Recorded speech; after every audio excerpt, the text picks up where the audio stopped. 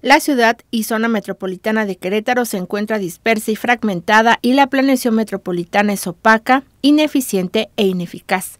El sistema de transporte es ineficiente tanto de personas como de mercancías, sin políticas públicas que permitan su desarrollo sostenible. Infraestructura vial frágil que colapsa con frecuencia. Estas fueron algunas de las problemáticas que se presentaron durante las conclusiones del Foro Intergremial Querétaro Planeado y en el que también se solicitó la creación de un Instituto Estatal de Planeación y otro metropolitano. Rodolfo Loyola Vera, integrante del comité organizador del Foro Intergremial Querétaro Planeado, advirtió que se tiene un modelo actual de crecimiento expansivo, fragmentado y costoso, que a largo plazo no es sostenible, además que genera problemas en cuanto a la dotación de servicios. Con la presencia de la secretaria de Desarrollo Urbano y Obras Públicas en el Estado, Romy Rojas Garrido, se señaló la carencia de políticas públicas que traspasen a los gobiernos para garantizar un desarrollo sostenible. Estos planteamientos se concluyeron después de talleres mesas de trabajo y ponencias que se realizaron de noviembre del año pasado a febrero de este 2019, en donde participaron 13 organismos empresariales y de profesionistas, la Universidad Autónoma de Querétaro y ciudadanos en general.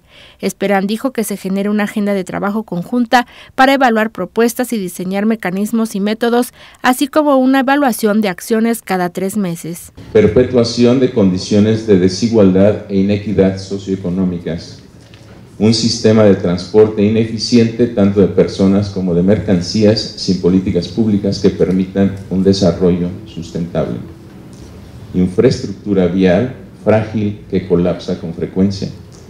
Proyectos e intervenciones viales que inducen efectos no deseados, tales como la promoción de medios privados de transporte en lugar de eficientar el transporte público. Romy Rojas reconoció y agradeció el trabajo realizado por las cámaras especialistas, profesionistas y ciudadanos. Dijo que las iniciativas que aquí se vierten representan un paso adelante en la solución de los retos que plantea la planeación urbana de las ciudades que han crecido a un ritmo nunca antes visto en la entidad y que ello conlleva llevar a cabo muchas acciones que se deben hacer porque sin duda Querétaro es un referente a nivel nacional.